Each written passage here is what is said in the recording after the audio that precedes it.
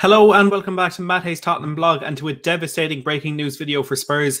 Dan Kilpatrick of the Evening Standard has confirmed Sergio Reguilon will miss tomorrow's game against Liverpool with a muscle injury that is, is expected to keep him out for up to three weeks. Uh, ben Davies is also a doubt for this game, which leaves us in limbo as to who we could potentially play at left back. Uh, before I discuss this a bit more, if you are new to the channel and you want a live watch along tomorrow night, plus a members call and show pre match and a live reaction with Liverpool fans as well, uh, make sure to smash that subscribe button down below.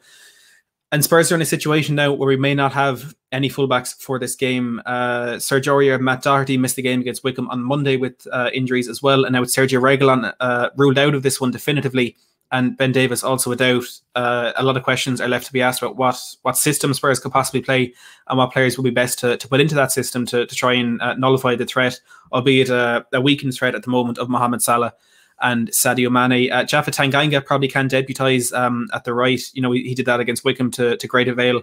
Uh, he did it last year when he played uh, Liverpool last January as well, and he kept Sadio Mane quiet. So there, at least we do have a viable option there in Japhet Tanganga. But on the other side, you know, who do we have to play? Dennis Cirkin is a player who's been getting a lot of attention from Spurs fans as one who could potentially make his way into Jose Mourinho's first team. You know, Mourinho is very vocal about his appreciation of Cirkin uh, and the ability he does have very early on in his time at Spurs. I think his first training session with the first team, he actually brought Dennis Cirkin up to train with them. So maybe that is an option there. But coming up against uh, Mohamed Salah, you would have to assume Jose Mourinho would be, uh, prefer to go with a more experienced player. You know, is it going to be a three at the back that we're going to play to try and have maybe two defenders, a left wing back, and a third centre back? Uh, going out there on Mohamed Salah. And even then, who do we play? Because ideally, if we were playing a five at the back, it would be Sergio Reguilon on left wing back and Ben Davies in that left centre back role.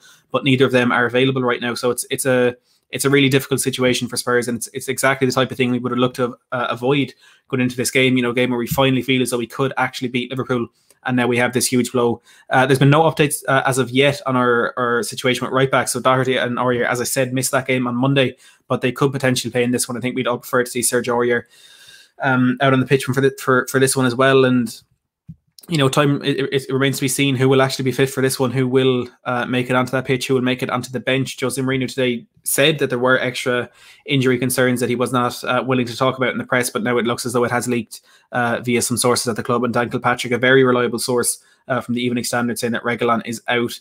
Uh, Spurs fans did notice Davies and Reguilon weren't in the training photo, so I think this isn't coming uh, as too much of a surprise but it is still uh, a huge, huge blow nonetheless. Uh, make sure to put down in the comments below who you think we can play at left back, who you can think we play at right back, and if this changes uh, Tottenham going into this game as favourites. Like I said, we'll be live on my channel tomorrow night at quarter to seven with a live uh, reaction to the lineups with myself, David, and Marcelo.